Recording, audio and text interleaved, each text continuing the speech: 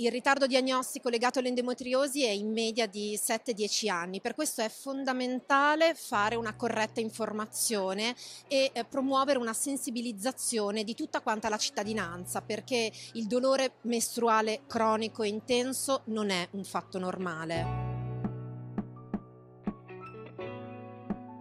il fatto che sia stata Agenas a proporre un progetto come questo è perché comunque Agenas ha nella sua vocazione l'attività di ricerca. L'endometriosi rappresenta la prima causa di dolore pelvico nella donna e è una patologia molto invalidante perché va a inserirsi e intrufolarsi in ogni sfera di vita di una donna.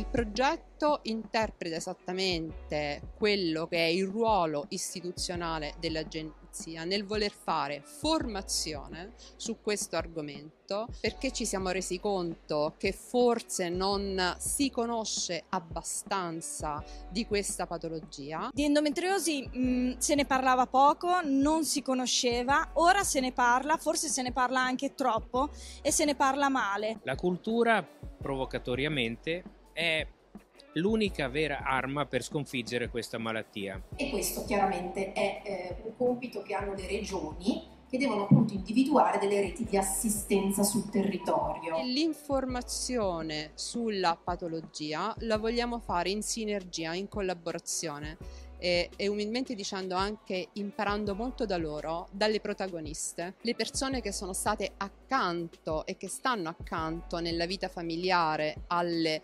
protagoniste, alle donne. Siamo un'associazione di pazienti, in questi anni abbiamo riscontrato sicuramente un grande cambiamento culturale. A livello di, di coppia il dolore più grande appunto è la frustrazione frustrazione mista a paura di qualcosa che non comprendi, che non conosci e che non sai come gestire.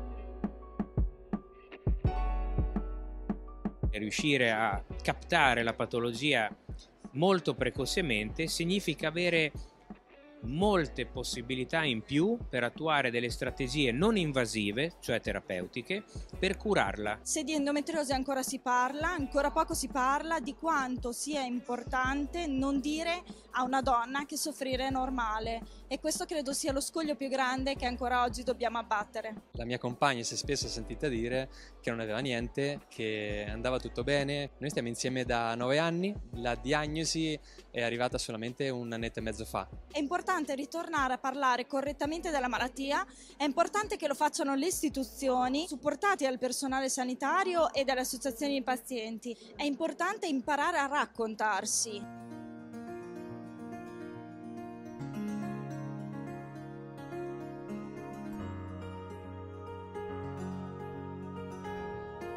il momento proprio della, della diagnosi lo abbiamo vissuto quasi come una liberazione, perché finalmente si è dato un nome a quello che stava succedendo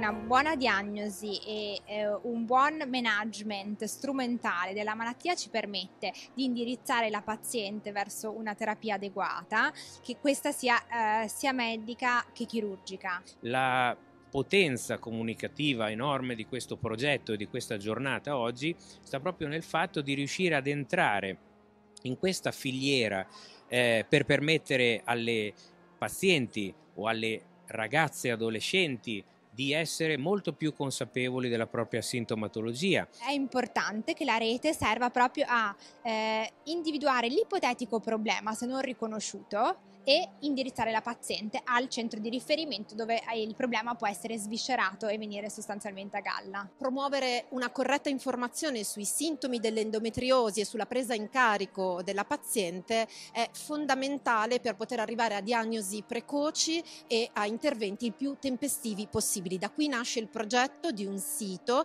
eh, endometriosi.agenas.it dedicato alle pazienti dove eh, la cittadina può trovare eh, le informazioni sui sintomi, la diagnosi, i trattamenti disponibili e come accedere appunto ai servizi sanitari.